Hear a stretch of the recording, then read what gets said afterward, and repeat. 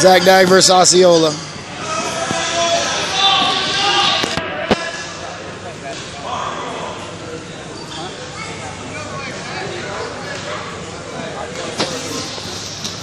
Mitchell Kerr is two to two with, with Bryce Marcus right now.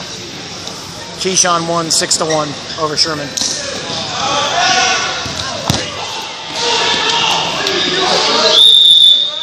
Sack just threw himself to his back. What? Oh, I know he's not. He's like close to 60.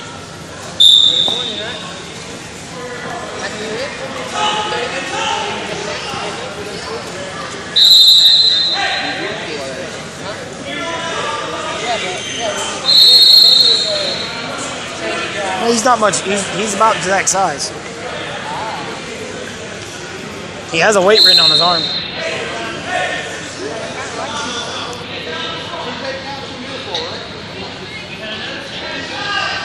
Let's go, Zach.